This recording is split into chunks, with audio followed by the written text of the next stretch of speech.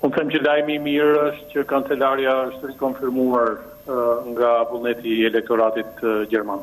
Nuk është një fenomen i ri, edhe në vendet tjera të Europës ka pas një ringritje të ndjenjës nacionaliste që është diktuar nga zhvillimet e brendshme e të jashtme. Në fund të ditës ky është vullneti suprem i elektoratit gjerman. Në gjykimin tim modest Kancelarja, por edhe forca politike që ajo përfaqëson do të përpiqen të rikuperojnë vota që kanë rrjedhur nga entiteti i tyre politik në drejtim të forcave të tjera politike, kryesisht në drejtim të AfD-së.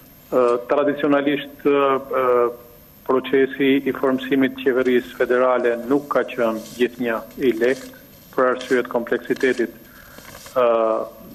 që shoqëron rezultatet e zgjedhjeve në Republikën Federale të Gjermanisë. Por kur themi nuk ka qenë i lehtë, në mënyrë kategorike nuk themi që është e pamundur. Historia na tregon që ka marrë midis një dhe dy muaj e gjysmë, ndoshta nganjëherë dhe tre, për krijimin e qeverisë, por në fund të ditës, brenda këtij viti besoj që do të ketë një qeveri të re federale.